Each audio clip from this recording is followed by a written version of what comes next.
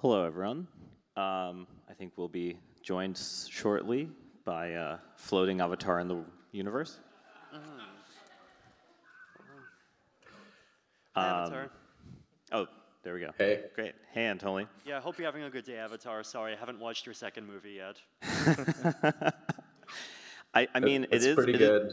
it is true that Anatoly does look like he could have been an extra in the Barbie movie, but you know, I'm not. I don't know what This- else to this- say about that right now. But nice, nice. This, this uh, is my Feynman cosplay for Oppenheimer. Yeah, well, you know, uh, as we learned today, uh, Vitalik prefers Bob the Builder, and uh, maybe we'll, we'll, we'll have Bob the Builder next time. But um, as, as many of you know, this panel is uh, the, the Endgame panel, uh, and I think, uh, you know, part of, part of this panel actually stems from last year at the last Modular Summit, which was sort of April 2022, so before Luna, when we were all, you know, felt safer, more comfortable, less annoyed at people in the world. I I felt less safe before the Luna collapse. That- maybe that's also fair, fair, fair. I, safer as in, uh, you know, I think the debate was actually quite different at that time. Uh, at that time, I think there was a lot more hype about monolithic architectures, and modular architectures were sort of coming from behind. And I'd say, obviously, some of the stuff that happened the last year made people people flip, or you know, things change. The, the Luna stuff, like, it had lots of moral lessons for me, but like totally nothing to do about monolithic versus modular. So I'd love to hear that case. Yeah, I think that's more like app chain versus monolithic. like Yeah. Luna thing, yeah. Right, but like, okay, I guess to me, like, Luna was not bad because Luna was monolithic versus modular, or like on Ethereum versus on Bitcoin versus on, um, you know, Cosmos versus or Solana or whatever, right? Luna was bad because it was a fundamentally bad design. Like the exact same design carbon copied onto Ethereum would have been just as big a, uh, a, a collapseful failure. For sure. I, I, I'm more pointing out that at this time, people were much more living in 2021 land. Okay, this is true. And, and like that was when, you know, I think the hmm. psyche was broken, right? So was- I, I just wanted to say, like, That's fair, give, yeah. give some context of like the last time we did this. There Yeah, was sort of, modular was really the underdog. mean, it's like I feel like there are like a lot of arrows, right? Like remember the scene where like Boromir just like gets like shot down by a bunch of orc arrows at the same time, and it's like you know first you have Luna, and then like you got the Celsius arrow, and then you Yes. got. Um, and then you got the, the, the big FTX arrow, and then he's kind of dying, and then there's just like one extra arrow from like, what was it, I guess like DCG or whatever, just like shoots in. Yeah. But, so, so there's been a lot of arrows. Indeed. More than three. Uh, well, may over- all our future arrows be in beautiful diagrams. There you go, exactly. Uh, commutative diagrams only. Uh, you know, we, we're, we're all secretly category theorists. I don't know. I, I prefer non-commutative because, like, you know, we want to have progress, right? Like, we don't want to just like go from the same place. All right. Well, clear, clear, clearly, clearly, there's already even debate about whether anything has changed since last year. So maybe, maybe Anatoly and Mustafa, let's start with, you know, in the last year, what, uh, what in the monolithic versus modular worlds has changed from your minds? Hmm, yeah, so I think like um, one of the biggest changes is a year ago there wasn't really um, any kind of like frame roll-up frameworks. You know, there was like Optimism, Arbitrum, and other kind of like optimistic roll-ups, but there was no kind of frameworks to, to kind of create your own roll-up. Now we have, you know, OP Stack, we have Arbitrum, Orbit, uh, Rollkit as well. And I think um, kind of last year, a lot of emphasis was the, the main reason why you need roll-ups is scalability, which is true.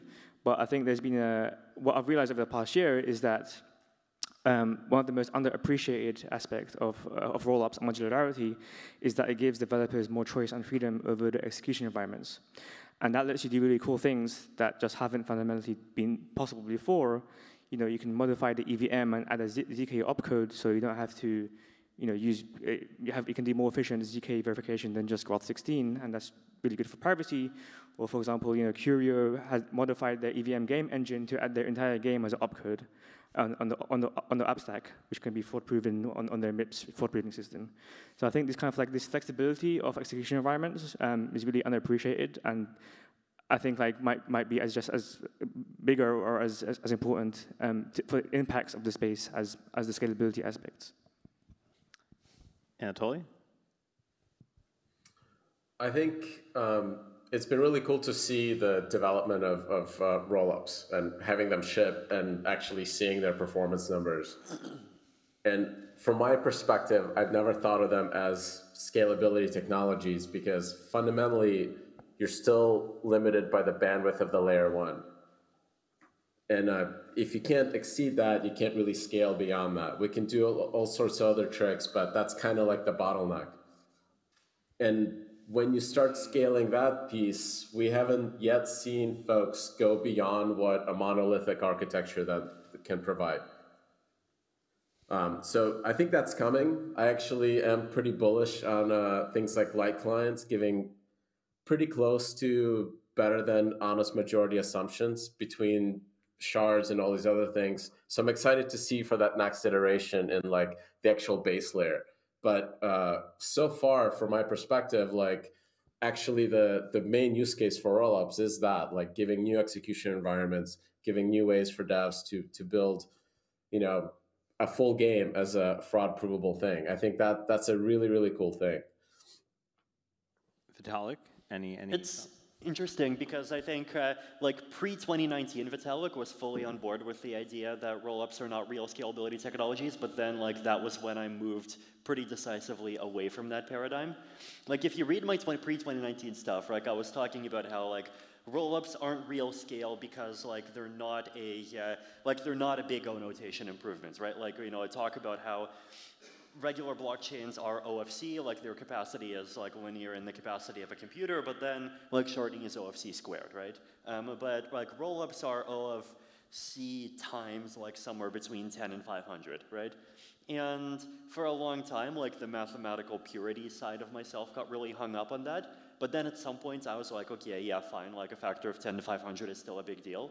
And that, like, that was when uh, well, I guess, and at the same time, we kind of exhausted, you know, state channels and plasma and all of those things um, that, uh, you know, just realized some of the fundamental limitations that they have in terms of how plasma requires every object to have a logical owner and like the whole de, you know, defragmentation problem that, um, I mean, I'm sure if Karl Floersch was here, he could uh, tell even more about because they tried to even implement, like actually implement that.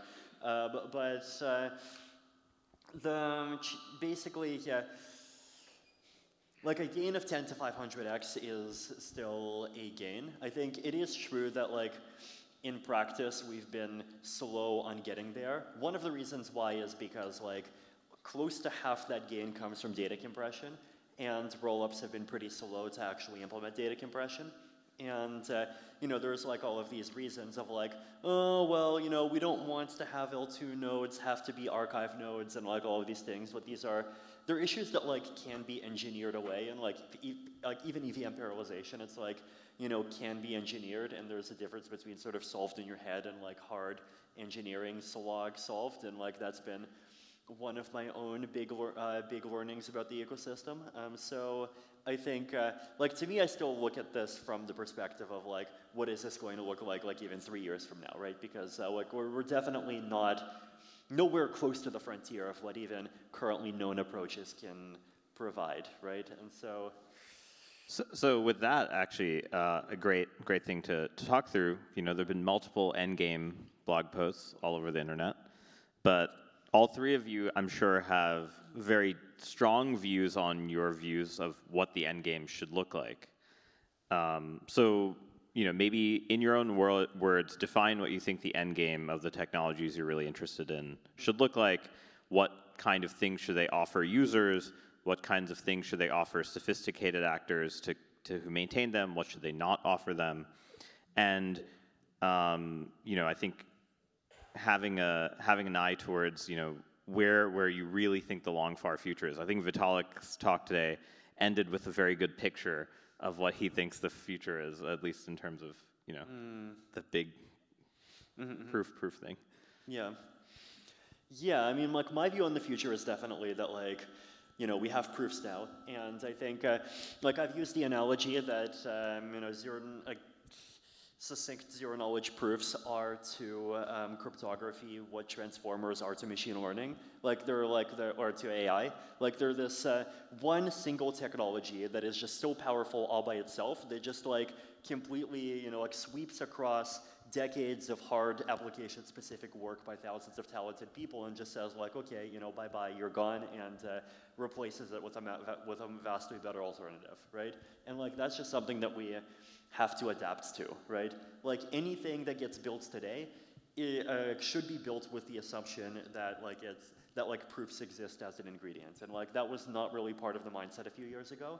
And like a lot of things change when that becomes part of the mindset, right? I mean, obviously, you know, like projects like Mina were, I think, pretty early to that. And, uh, you know, had the EVM been conceived even five years later, it would have uh, looked very different. Had, I mean, even the beacon chain been conceived even a few years later, it would have, uh, I mean, it looked, looked very different, right? Like even when the beacon chain was built, it wasn't really built with this uh, assumption of proofs in mind.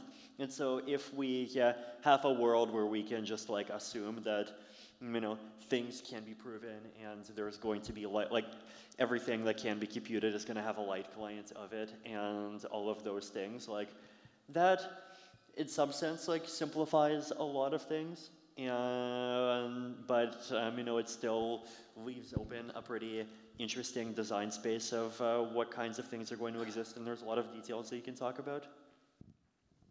Yeah, so to, to piggyback on that proofs aspect, um, when I kind of like think about the end game, I think about you know what is scalability. Um, I define scalability as throughput divided by the cost for an end user to verify the chain.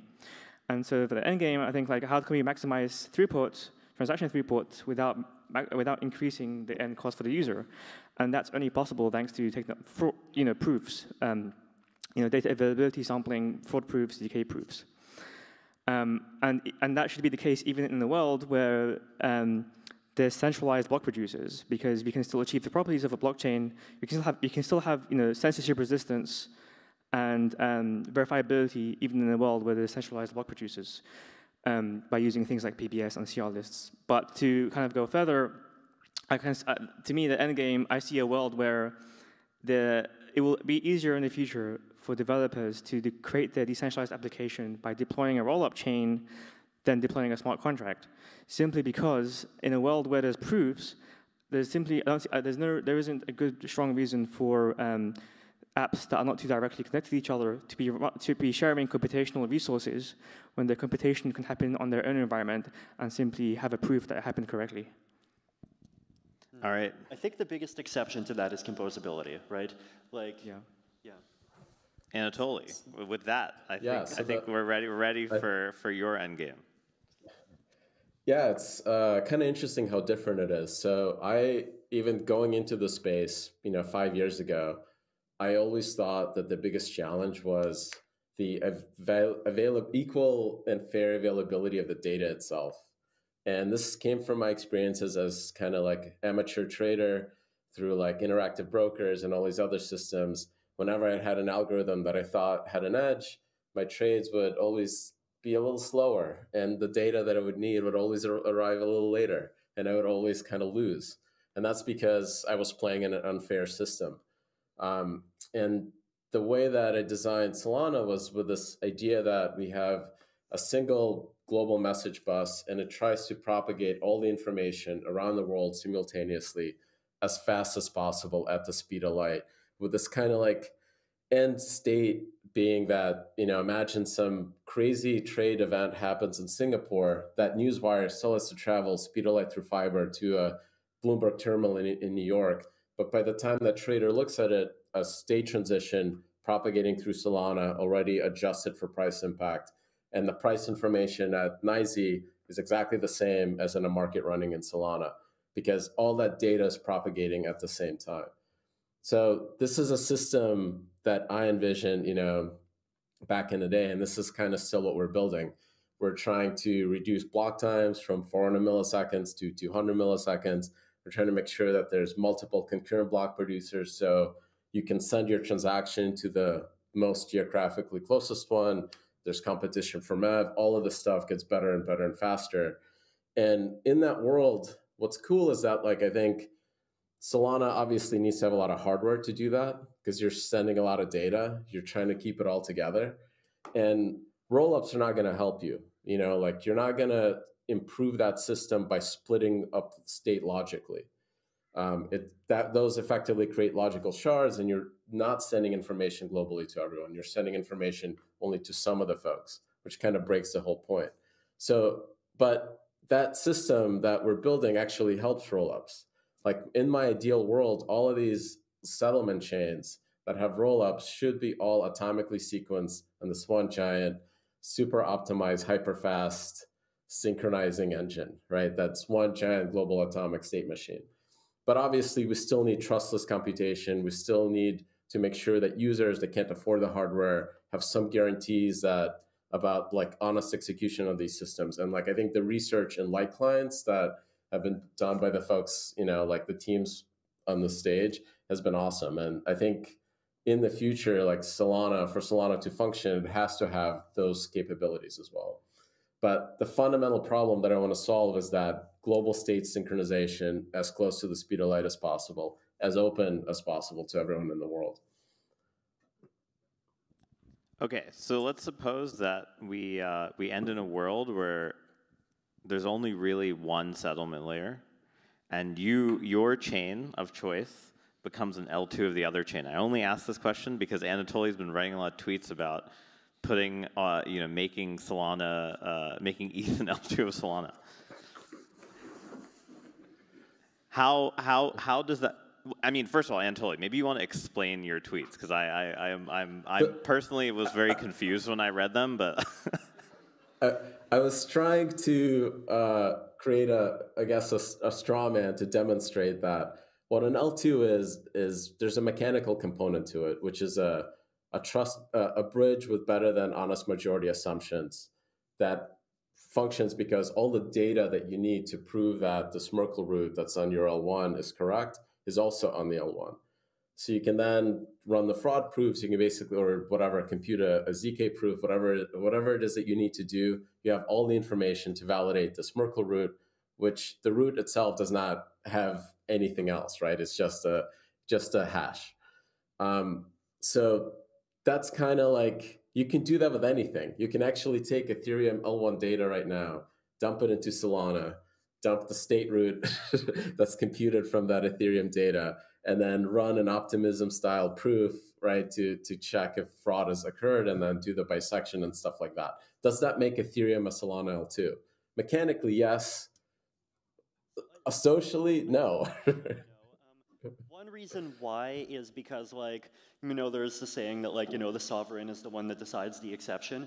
And in blockchains, the exception is bugs and 51% attacks. And the question is always like, like what happens if Ethereum hard forks, for example, right? Like if Ethereum hard forks, then there's a few possibilities, right? Like one possibility is that the Solana bridge, and if we assume that it's a um, you know perfect ZK bridge, then according to the old ZK rules, the Ethereum chain will just start being invalid, and like that bridge will just basically create its own version of uh, you know like basically its own Ethereum Classic 2.0, right? Um, so that's like one, but then the, the question is like, well, I mean, know, do the uh, assets, like, like what do the assets follow, right? And realistically, in this case, the assets would follow Ethereum, right? Um, but, you know, if you get into a uh, world where like the majority of assets are rooted onto Solana and then bridged onto Ethereum, then like that would, that would look very different, right? Or another world in which Right, and in that case, then like Ethereum would not actually be capable of hard forking unless there is like some kind of on-chain governance, right? Or a possible third world would be a uh, world where the assets are all based on Solana, but at the same time, the uh, Solana community is willing to hard fork whenever Ethereum is willing to hard fork, right?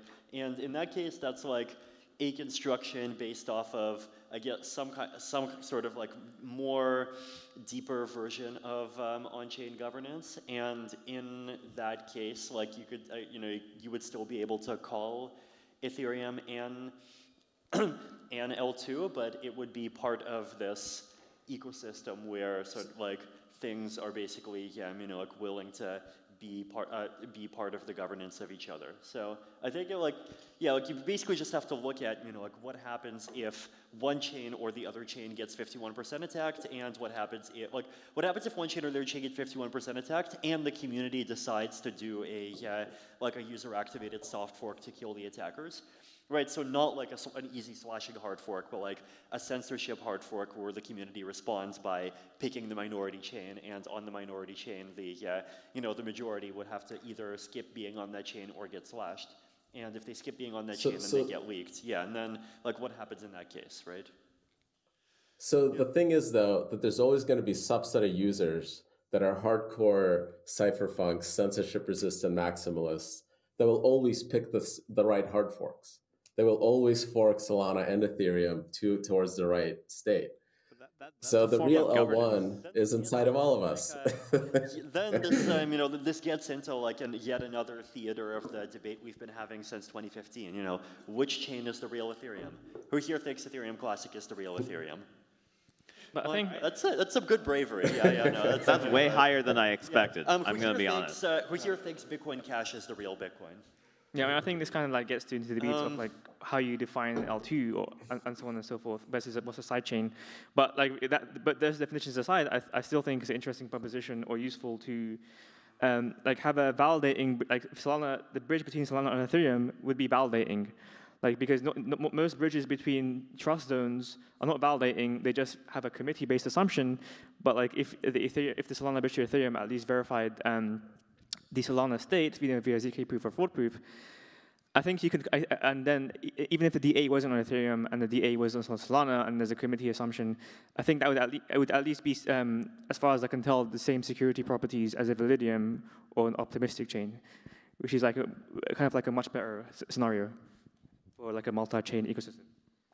So one thing that did come up in, in all of these answers to to whether it's possible for one settlement layer to usurp another one and make it an L2 is uh, the role of governance in these futures, in the, the modular or monolithic futures. And so, you know, I think we've we've seen a lot of different variants of what qualifies as governance. You know, I think choosing a hard fork, following certain people is a sort of weak form of governance. We just heard John's talk about POG, which you know I, I don't even I, I haven't fully processed because it was spoken at high speed, uh, to be honest. Um, but uh, I, I think like where do you view the role of governance in your preferred modality in towards the end game? Like how much you know how minimized is it? How important is it? Where does it where is it necessary? Where is it only sufficient? Where is it non necessary? Yeah, I mean, I feel I really feel like this upgrade thing, the uh, roll, roll up upgradability, is the kind of like core, like the the core nuance. That there's been a lot of debate about like, um, you know, like. Um, you know, Kelvin from, from Optimism is arguing that all roll ups are sovereign, and there's kind of a very controversial statement.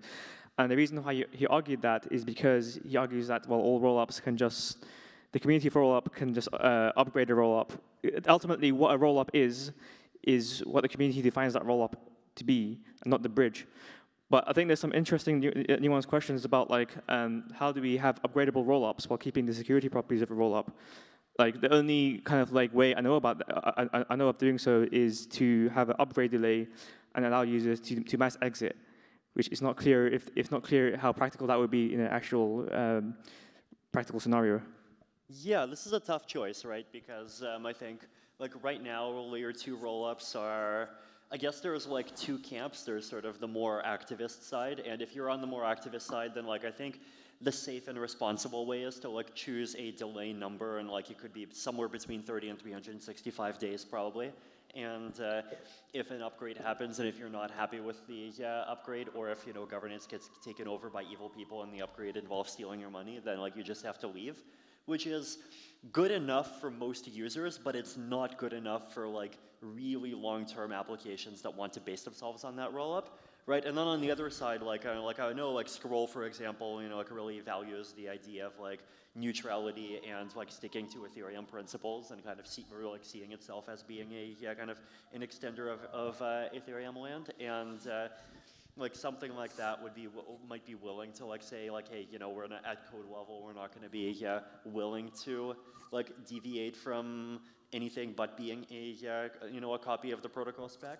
And like if they do that then uh, that doesn't like it takes away that risk for applications. But then it also opens up this interesting question of like if ethereum itself upgrades then like how would scroll end up copying that? And then this gets into like protocol questions. Like i know this, is one of those things that's like controversial within the Ethereum research team even, right? Like there's some people that are in favor of uh, enshrined rollups or like, or an enshrined like pre, like rollup assisting precompile. Like basically imagine a precompile that just does EVM validation and it just does whatever EVM validation means during the specific block. And like maybe you could let it like do either the current hard fork or the previous hard fork and then like in the backend clients would just implement that by like waiting for you know, like whatever their preferred ZK EVM proof is, for example, right? And like, if you do something like that, then like you can preserve that kind of like that tight coupling for the projects that want to do that. And then if you don't do something like that, then like layer twos would basically need to have governance for the so, like on-chain governance for the sole purpose of keeping, at the very least for the sole purpose of keeping up with uh, whatever layer one does, right? So that's uh, like that's one of those trade-offs. So like, and then obviously the uh, you know the the other side of this is like this kind of underexplored class of like crazier ideas where like someone creates a uh, layer one where that layer one is like intentionally willing to be more um, you know like activist and uh, or, or and like basically yeah hard fork in such um, in such a way that like even layer two like like assisting layer twos with um, you know like um, hard forking along with those kinds of changes. So yeah, You know, there's like a, a, big set of possibilities in off-chain governance. There's a yeah, obviously a big set of possibilities with on-chain governance as we see it, and especially once you start like properly moving away from the coin voting stuff. And uh, and then there's like a, a whole set of debates about use cases of governance. Like, are you protecting against hacks and that's it? Are you improving the protocol? Are you doing public goods funding, right? Um, and then if you do public goods funding, then like, do you do it um, kind of by enshrining an on-chain mechanism, or do you do this kind of like retroactive off-chain thing the way that Zcash does, right? It's like every four years they basically, as far as I can tell so far, they like decide you know who the public goods funders, uh, who the, the top level public goods funders are, and then they and then they do a hard fork to give them the block reward, and then that gets revisited every four years, which is like kind of cool in its own way, right? And Zcash has made the choice to be more interventionist than Ethereum and Bitcoin are, but yeah, I don't know. It's a it's a big design space. But do you think do you think there's a way for to uh-huh. allow rollups to have upgrade, upgrade mechanism with the same security properties as a rollup, but without coin voting and without enshrining that roll up into the L1. Because that's one of the reasons like some people are interested in sovereign rollups. Right. Yeah. Right. Well, I guess the challenge with sovereign rollups is like if you start using any assets that where those assets are not registered within that rollup, right? Then it's like, well, for those assets that you can't be sovereign, right? Yeah, unless sure. the uh, unless you have like hyper like more activist off-chain governance. Yeah, for sure. But I think like even though L1 is truly sovereign, like you have you know USDC and U USDT, which is kind of like a mm -hmm. you know a non-sovereign bridge between Ethereum and Circle or Tether. So it's definitely you know sovereignty is, is a spectrum. And, there's definitely trade-offs though between sovereign rollups and non-sovereign. Right, that is true. I mean, you definitely could have a like try to get every application to have um, you know separate instances on all of the different uh, rollups, and so you don't like even cross rollup like kind of bridged assets don't exist anymore, and then everyone can be sovereign. But uh, well, if you do that though, like you would not be able to, like ETH would not be usable on rollups, right? Because ETH is uh, like by definition homed on Ethereum. Mm, yeah. And Anatoly, need, any, any you, thoughts you, on governance? It needs, I mean, like the, the major problem are zero days. All these systems are too complex to not have some really fast path to upgrade and, and deal with a zero day bug. That's kind of like the end of the day. Like you have to, I don't know how long it's going to take for us to construct something that is so simple that everyone agrees this this can be upgraded with a 30 day delay. We're okay with with that. Um, and if you have a fast path for zero days, you're kind of introducing honest majority assumptions. And I think that's mostly fine. If that if that's what we're dealing with, I think we then have to be very very careful about how we construct those majorities. Should they be like well-known security firms, et cetera, et cetera? Like kind of the the proof of governance talk, I think went into a lot of those considerations. But but like I think it's really really tough to to avoid those. I think like a couple of nuances on that. Like one is you technically don't need like you don't technically need a fast path to upgrade. You need a uh, fast path to freeze and an arbitrarily slow path to finalize whether or not you're going to upgrade.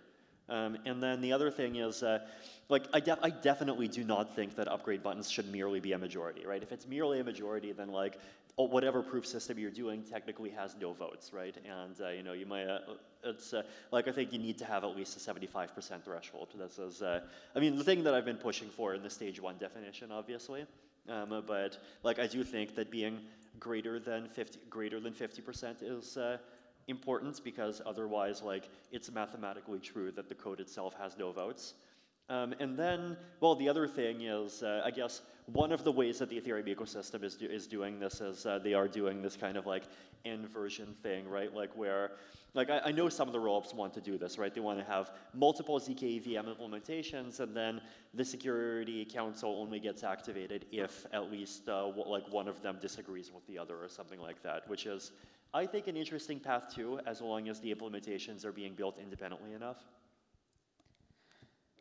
Yeah, I, I, I think like at some level, it seems like everyone thinks that there is some necessity of governance at the bare least, bare minimum, but it may be sort of to summarize like in some ways synchronizing multiple chains in the case of the modular world, or in Anatoly's view of the world, kind of response measurement. Now, maybe let's take a tiny, tiny detour. Uh, Imagine you had to come up with a complement for the architecture that's the opposite of the one that you like. Like you had to find some something really fair, like you know, you, you were just your your your your your life depended on coming up with a, a really good compliment for the other architecture. What would you what would you say to your to your fellow developer? I mean, speaking of Solana specifically, I mean, the way I see it is that Anatoly and Solana is trying to build uh, the way I see it is um, scalability ultimately has, a, has trade-offs between um, scalability and composability. And um, so, like even you know, Ethereum-centric roadmap, you have liquidity fragment, uh, some liquidity um, fragmentation of liquidity, let's say like op optimism and arbitrum. But the way I see it is like Solana is trying to up, uh, trying to see as much how much throughput we can get as much as possible without any composability sacrifices whatsoever. Um, that's why Anatoly doesn't see rollups as a scaling mechanism because it defeats the properties of the system he's trying to create, which is like the, basically, as I understand, the, the vision is like you know decentralized version of the New York Stock Exchange. But so I do appreciate what I appreciate about Solana is that you know they've made some great advancements in kind of execution environments. You know the parallelized execution environment, you know it, it, that's a ma massive um, improvement. Um, and I do I appreciate that um, like Solana is actually taking trust minimization a bit more seriously over the past year. You know, there's been some work and proposals over trying to create light clients and uh, implement fraud proofs for Solana, and you know, even some proposals to to see how we can add data availability sampling to Solana. And I, uh, I mean, I appreciate that you know there's a strong technical team, and I appreciate the uh, willingness to just like say, here's uh, some set of use cases that kind of we understand, we're passionate about, and uh, you know we're going to like basically optimize and like and be willing to make the be willing to make trade-offs to do the best that we can for them. Anatoly. Um, well, I think the data av availability sampling and the whole fraud-proof construction is like beautiful design. It's awesome. So, and that actually is like I think came out of the research of both both of the the teams here. So pretty cool. And like uh, the really cool thing is that like everything's open source. As soon as those folks had really good ideas, I was able to understand them and start thinking about how apply them to the Solana stack. If we if we fast forward, you know, to to kind of applications that you find interesting uh, either within ecosystems that you're working in or uh, sort of maybe even in the other ecosystems, what are some applications you're you're interested in, in in 2023 and 2024 that will be used? You know, I think a lot of EthCC this year, at least from my perspective, has been quite a bit of infrastructure, seeing a lot of updates on you know how certain proving systems are working, you know, understanding how those developments have have moved on, but we do at some point have to, to have to find some other applications in them. But, you know, obviously you all probably have tons of examples of these that you're most interested in. What are they?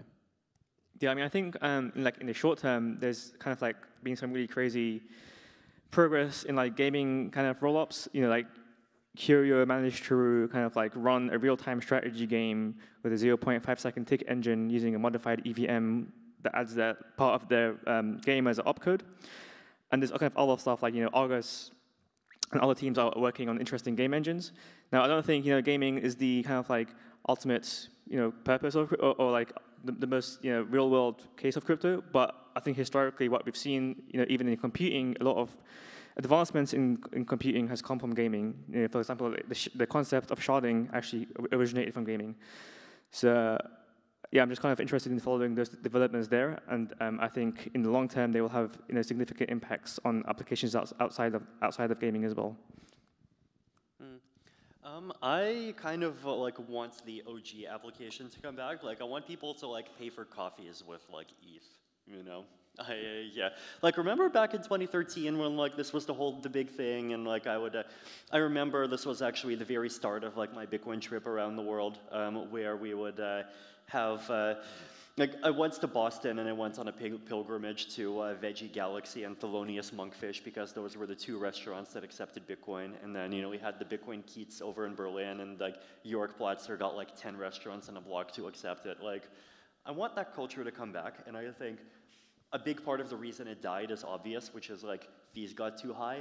But like, you know, the original pitch back then is like, hey, this is cheaper than PayPal, but then it stopped being cheaper than PayPal. But with rollups, like it actually will be again, which is amazing, right? And like, I would love to see some of, um, you know, those amazing OG things that we did back then come back now that, um, you know, the world is, or the ecosystem's starting to be ready for them. Yeah, um, I think I think that will definitely happen. Like uh, we're seeing banks already using USDC for settlement. I think that will eventually be exposed to the end user. Um, like it's being used kind of on the back end, but not, it will eventually be exposed to the end user. I'm impressed. Need, none of these applications so far have had any advanced cryptography. So, uh, Anatoly, the payments privacy preserving, but okay. okay. Anatoly. Yeah, I, I, would say like simple things like payments and DeFi. I guess DeFi can be very complicated, but I think both of those really serve the two fundamental things that crypto provides, and that's self custody and this idea of a global source of truth, right, for pricing or the ability to transact. I think those are very transformative at scale. If you have everyone in the world that now has cryptographic keys that they know can move value around, everything else can be built on top of that, you know, like real world governance, right? Like if you if everybody knows that like we, we can all communicate and coordinate with cryptography, we can actually build very quick, fast global politi- political movements that can take on action and solve real world problems. I think, but the foundation is that like cryptographic base of users that get self custody, get what they're doing, they know like what this thing means. So yeah, the simple things. I'm I'm on Vitalik's camp here. I mean, you know, we are in France, and uh, DeFi is the French word for challenge. Okay, fine, it's pronounced DeFi, but like, come on. I'm like more generally also interested in um, experimentation around DAOs and kind of like form ways of organizing people on chain. There's like this, there's um, a lot of different kind of proposals: DeFi, ReFi, Disco, DAOs. Um, a lot of interest. I'm kind of like um, excited to see how that goes as well. My last question, which is a false trichotomy, but uh, you have to pick an answer anyway, which is Barbie Oppenheimer, or you think it's really bad that we're lionizing Oppenheimer via a movie? I choose Bob the Builder. Oh, sorry, oh, I forgot Bob the Builder. I forgot Bob the Builder. I want to see like the, the, the crypto space come up with its own like epic, you know, like you know, like we've we've had songs, right? Like uh, you know, like remember there were Bitcoin songs back then. There was um, like the that uh, um, "Love You Like Like a Bitcoin" parody that like continues to be one of my favorite songs to this day. Like it's actually good as a song despite being a parody. There's uh, I think like didn't like Simon de la Rouviere write a novel at some point that like yeah like I'm like I, I would love to see just like us come up with a uh, a movie that is like you know uses themes from these you know top, top, that we care about, but is like actually good as a movie at the same time. I unfortunately saw that there was an online TV show about SBF, so maybe, maybe that's not the right type of movie. mean, But uh, it is it is that is mean, coming out. It's an animated short. I see it's Series. uh, an Oppenheimer for a different cause. Yeah, Yes, exactly. Yeah, yeah. Price is definitely you know spooked. Anatoly, I mean, you look like you're ready to be in the Barbie movie, so like you Yeah. got to have some opinions here. This is me cosplaying Feynman, so uh, definitely Oppenheimer. All right. Well, thanks everyone for joining us. It's been a great day of talks. We talked a lot about the public broadcasting system of the U.S. I mean, sorry, proposer builder separation, and uh, hope you have had a good week in Paris and uh, enjoy.